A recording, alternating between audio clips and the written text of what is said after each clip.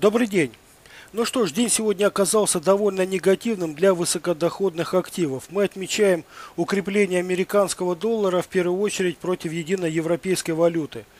Но в основном это, конечно, происходит, а именно ослабление евро против американского доллара по причине э, той нестабильности, которая э, как бы неожиданно возникла э, в ЕС, хотя э, ранее уже Э, отмечались проблемы, долговые проблемы так называемых периферийных европейских стран.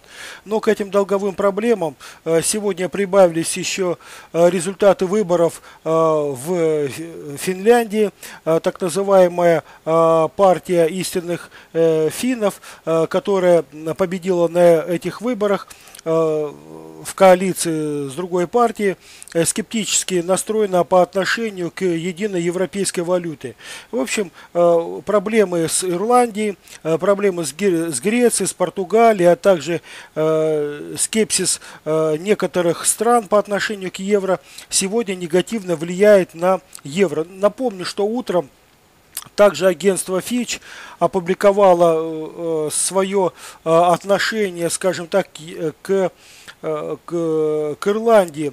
Дело в том, что Фич э, считает, что Ирландия э, столкнется с большими финансовыми проблемами. Дело в том, что уже долг на настоящий момент Ирландии, ну, точнее говоря, предполагается, что вот в следующем году долг Ирландии вырастет на 116 процентов от ВВП. Иначе говоря, практически весь валовый внутренний продукт нужно будет тратить на возмещение этого внешнего Э, долго, ну и даже еще больше, чем э, сам объем ВВП. В общем, мы видим, что ситуация довольно сложная, и на этом фоне единая европейская валюта э, корректируется сегодня от своих максимальных значений. К настоящему моменту она Э, пробила вниз важную, важный уровень поддержки 1.43 и пока находится ниже этого уровня. Но непосредственно о единой европейской валюте и о ее перспективах мы поговорим немножко позже. Ну а давайте теперь мы посмотрим на ту ситуацию, которая к настоящему моменту складывается на европейских торговых площадках. Итак, индекс Dow Jones Stocks 50 падает на 1,59%. Что касается сводного индекса европейских акций Dow Jones Stock 600, то он снижается на 87%. Также э, в красном негативном э, э, ключе торгуются и э, основные э, европейские фондовые индексы. FTSE 100 снижается на 1,1%, германский DAX 30 на 1,11%, французский CAC 40 на 1,49%. Ну, из лидеров э, падения мы отмечаем в первую очередь банковский сектор. Бумаги банка Коммерцбанк, это немецкий банк, снижаются на, на 4,33%. Что касается итальянского банка Unicredit, кредит, то он падает на 2,35%. Ну, конечно же, бумаги этого банка. А, итак, э, рынок сырья.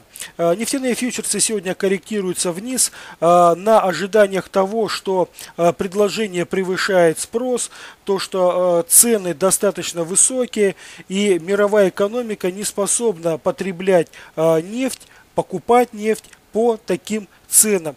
Ну и, конечно же, цены пока не продолжают падать, потому что все-таки э, сложная ситуация в Ливии в целом на Ближнем Востоке продолжает поддерживать э, цены на нефть. А нефть марки Brent к настоящему моменту снижается на 42%, находится на уровне 122 долларов и 94 центов за 1 баррель. Американская WTI снижается на 82%, находится на уровне 108 долларов и 77 центов за 1 баррель. А, ну давайте обратим внимание теперь на товарный рынок. На товарном рынке ситуация у нас э, ухудшилась. Контракт на медь сегодня с утра подрастал, а сейчас он снижается на 37%. Также корректируется вниз и золото. Снижение составляет 37%, а серебро э, заметно э, преуменьшило свой рост. Если оно э, сегодня росло более чем на 1%, то сейчас рост составляет всего лишь 47%. Итак, валютный рынок Форекс. К настоящему моменту индекс доллара растет на 29%, находится выше уровня в 75 пунктов. А, что касается единой европейской валюты, то мы считаем что в принципе в краткосрочной перспективе пара может получить некоторую поддержку, так как все-таки Э, разница процентных ставок в еврозоне, она еще э, не отыграна полностью, а точнее говоря, ожидание дальнейшего роста процентных ставок. Это, собственно, и поддерживает единую европейскую валюту, в первую очередь, конечно же, против американского доллара. На наш взгляд, э, до важного и судьбоносного решения ФРС о прекращении программы количественного смягчения в июне месяце этого года, скорее всего, мы не увидим какие-либо движения, связанные с укреплением э, американского доллара. Э, скорее всего, э, мы увидим некоторую консолидацию с небольшим ослаблением доллара. Некоторое такое движение, не сильное, не резкое, но в сторону ослабления доллара. Итак, что можно ожидать от открытия американской торговой сессии? Ну, э, фьючерсы на основные американские фондовые индексы к настоящему моменту демонстрируют э, отрицательную динамику. Фьючерс на индекс широкого рынка S&P 500 снижается на 61%. Штаты откроются в минусе.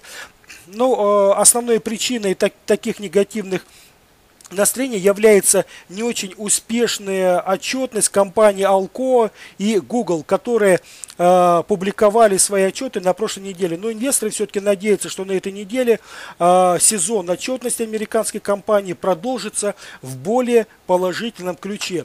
На этом у нас все. Э, более подробную информацию о ситуации на финансовых рынках, а также о наших э, обучающих программах и э, новой услуге консультации аналитика вы сможете найти на нашем сайте тройное wgrandcapital.net. А с вами был я, Сергей Костенко, старший трейдер и аналитик компании Grand Capital. До свидания и удачи вам!